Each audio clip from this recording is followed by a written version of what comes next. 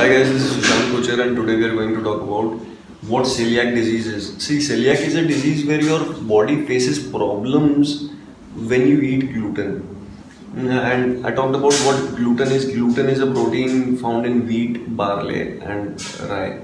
So majorly for Indians, we are going to be talking about wheat and barley because uh, rye is not. Uh, uh, why is a rye is a crop mostly grown in foreign countries. Okay, so what happens in celiac disease is that gluten is not digested and it creates problems in your body.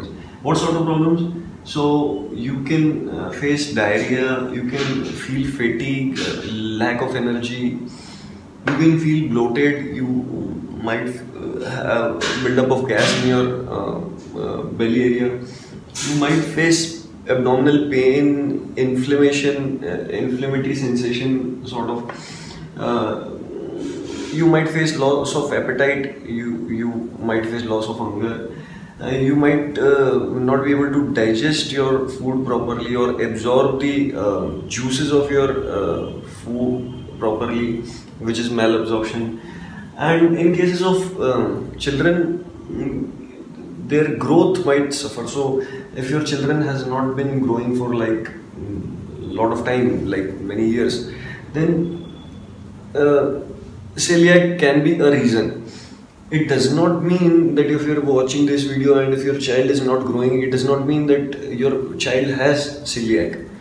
There can be a lot of other reasons, uh, like your child is not eating properly or uh, not playing properly or uh, uh, his digestive system is not working properly. There can be a lot of reasons, but if uh, one of the reasons can be the celiac disease if you have tried for uh, if you have uh, tried for your child's growth and uh, by going to a lot of doctors and you couldn't figure out anything then you can go for a test of celiac disease for your child. We'll talk about this uh, in the next uh, few minutes.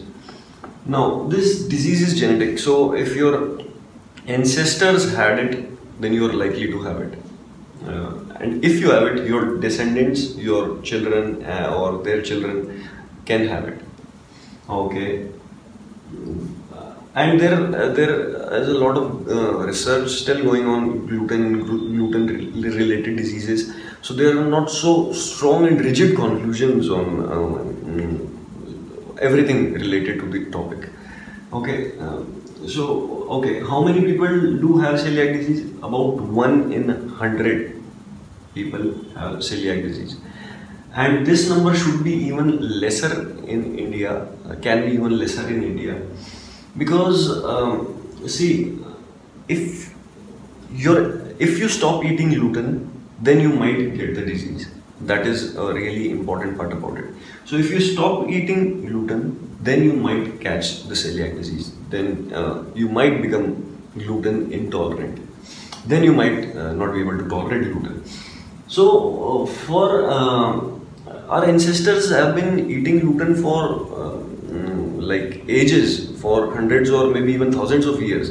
They have been eating uh, chapati, the wheat chapati that we we have been born and brought up uh, eating. They have been eating for ages. Uh, so it is less likely that they are going and they lived for hundred of, hundreds of years, hundred plus years. Uh, so it is like less likely that we, um, the genetic factor is going to be uh, working with us.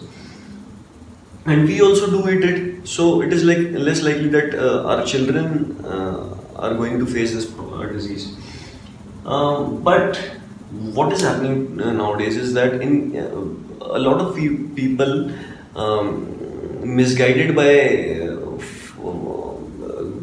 foreigners uh, saying don't eat roti, don't eat wheat and rice, don't eat roti, chapati for bodybuilding. If you're doing fat loss, you should stop uh, wheat and rice. If you're uh, doing uh, going for muscle gain, you have to stop wheat and rice. these sort of wrong, this sort of wrong information spread out in the fitness industry, especially in the bodybuilding industry, is making people stop eating uh, the gluten uh, products, majorly which is uh, wheat in most of the people's diet. So uh, once you stop it for a, lo a, long period of time, maybe months or years, then you might uh, get the disease. And once you get the disease your children have a probability of getting the disease. So maybe you uh, stop eating uh, uh, wheats chapati for the rest of your life just thinking that it would uh, not let you lose fat which is not true. But you stopped it for the rest of your life and your grandson got the celiac disease uh, because it was a genetic disease. You never ate it again, so you uh, never faced any problem. But your grandson started eating gluten uh, uh, rich foods and he started facing problems. So do not stop eating wheat and rice. Okay, now how do you know if you have the disease? So there is a simple test for this disease TTG IgA. Um, you might consult a doctor in case you want to get that done. Uh, for this test, uh, it is said that you should be eating gluten before uh, you go for this test. But you can know more about this by consulting a doctor. In case you think that you should go for the test, but you should go for the test only if you have any sort of problem. If you have no problem, if you have been born and brought up eating wheat uh, and barley, and you have never faced any problem, why would you go for a test? If you're not facing any problem, then everything is good. Uh, just remember that you should not stop eating uh, the roti or chapati or phulka. You should not stop uh, eating wheat, uh, wheat or wheat products. If you stop eating them, then you might catch the, catch the disease. Now, and if you catch the disease, your children or grandchildren might get the disease as well. Okay.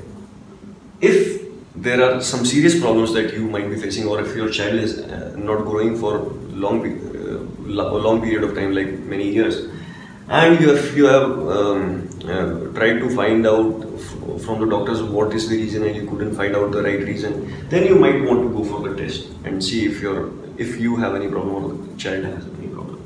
See, I'm going to be making really important videos on uh, gluten and gluten related topic, not just for health purposes, uh, things related to bodybuilding, muscle gain, and muscle mass.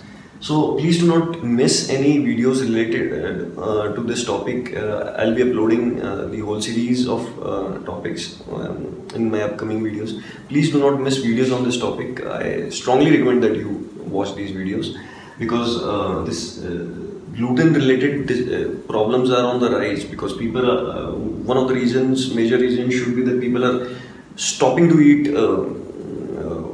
gluten related products because of uh, false uh, information spread out there. And nowadays you're get, getting a lot of packaging saying gluten free, no gluten, uh, so, so, a lot of misguidance around you. So, so please uh, do not miss any topics on this, uh, any videos on this topic. Uh, if you like this video, please like, comment, and share. I'll see you in the next video. Bye bye.